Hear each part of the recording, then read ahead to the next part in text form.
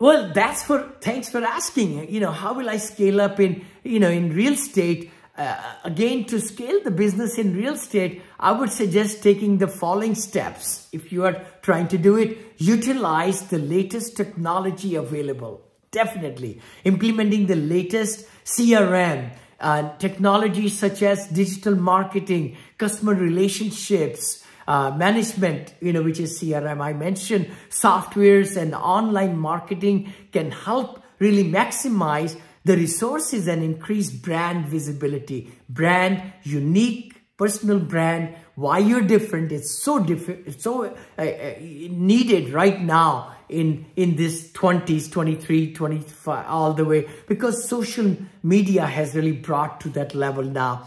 Number two, maybe expand customer outreach, you know, utilize uh, online networks and platforms to reach potential customers as and to widen the customer base for your business. Number three would be maybe focus on, uh, you know, specialization. You know, don't be, uh, you know, into so many different facets that you don't really become specialist in, in, in, you know, one or two main things. Instead of offering a generic list of services, you know, focus on specialized things in particular types of real estate uh, expertise such as like commercial, residential, investments, management, hotels, and uh, mobile home parks or storage units, industrial, all that stuff right there. And then, of course, demonstrate tangible performance. You got to show tangible results through metrics and through customer feedback, you know, and so forth uh, to demonstrate the performance of the services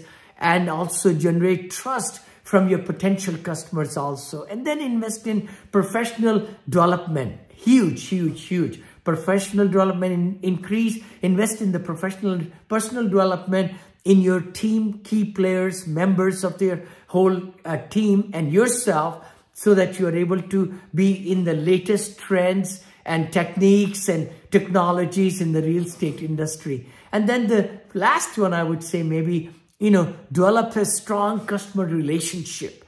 That is where we are. As a servant of the industry, we need to be always serving the customer relationships and uh, holding them, keeping them from year after year and making them to uh, pass out the best of the best comments and bring other uh, customers into your uh, business and so on. Create positive relationships with the customer base and resources and ensure that their needs are met.